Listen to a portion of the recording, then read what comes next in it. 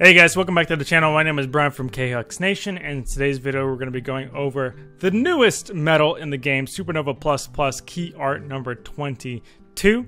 It is a 5 Mercy Pull medal. Now before I start the video, I do want to remind you guys that I do have the join feature available on my channel now. So if you appreciate and enjoy the content I make here on the channel, or if you like watching my live streams, or both, I would truly appreciate it if you become a member.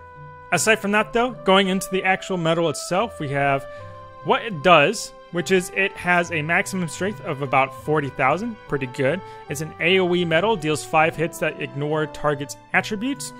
For one turn, raises medal strength, general medal strength by 2500, uh, increases your general strength, upright, and PSM strength by 15 tiers, increases your guilt buff by 200%, does more damage the higher your HP, costs 1 gauge, is a tier 10 medal, uh, its damage multiplier is a 68.71 to 78.12. Supernova, AoE Supernova, has the mastery mechanic, so essentially does more damage against super effective uh, enemies. For three attacks, increases general medal strength by 9,999 for one turn, lowers the target's general defense, upright, and PSM defense by 15 tiers, increases your guilt buff by 300%, triggers before slot 4 in PvP, has a damage multiplier of 220. Now, in terms of how good this medal actually is, um, realistically, I don't. There's a couple things I need to say about this medal, which is that it is absolutely fantastic for raiding any type of medal. Oh, excuse me any type of medal that ignores target's attributes are always fantastic, especially AoE medals uh, like this one, are absolutely fantastic for raiding just because the fact that you can hit all of the pressure points uh, and it's always guaranteed to be super effective, in which case you don't need to have exclusively built attribute setups of each different attribute uh, in order to get the most damage in uh, on raid bosses so that way you can get more locks essentially faster. Um, so these type of medals are absolutely fantastic because essentially if you can get enough of these ignore targets attribute type medals in a single setup, in a single raid boss setup, uh, it is the most effective way to just lessen your costs in terms of trying to set up different raid boss setups essentially across your keyblades. So you can you would only ever need to use one keyblade setup at all times against all raid bosses, uh, compared to needing like maybe like three different keyblade setups for for raiding, if that makes sense. So definitely fantastic raid medal. In terms of everything else, though, what I will say is that uh, the general medal strength is pretty nice. Okay, there are not too many medals at the moment that will just affect all medals in the entire game. Uh, most medal strengthening medals usually increase some sort of attribute, whether it be a PSM attribute or upright reverse.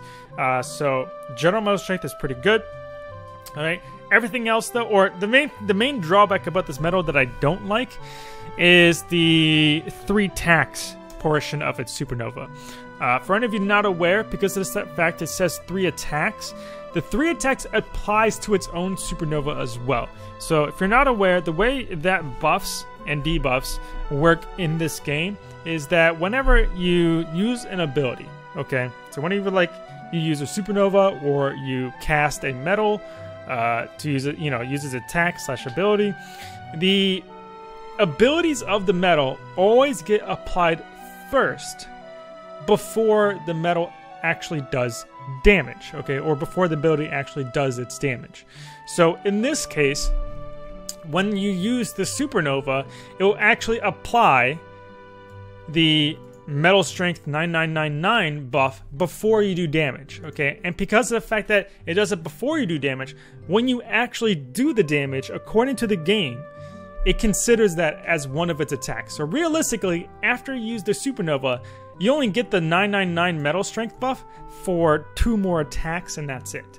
Um, which is going to be incredibly worse if you have a setup that has a lot of extra attack medals, for example. Um, so I, I, forgot to mention that its multiplier is, is pretty good. It's a pretty decent multiplier. Um, not the highest in the game, but it's definitely up there as one, one of the very uh, better ones. So overall, though, I would say because of the fact of how lackluster the Supernova is, and that it's very limited in its actual usage, uh, especially with how easy it is to start actually obtaining traits these days, partially because of the Moogle shop. Um, if you happen to get VIP, you, these days you really only need to spend a thousand jewels to guarantee get like extra attack, for example.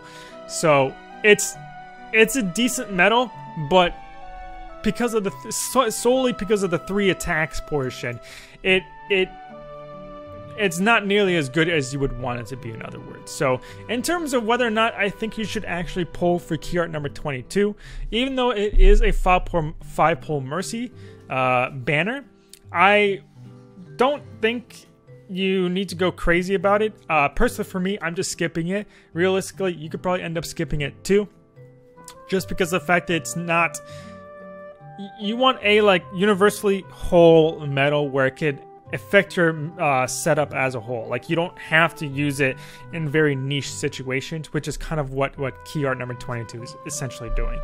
Um, you kind of have to use it as like the uh, last or second to last medal in your entire setup in order to get any sort of value from it, which doesn't really feel good to me.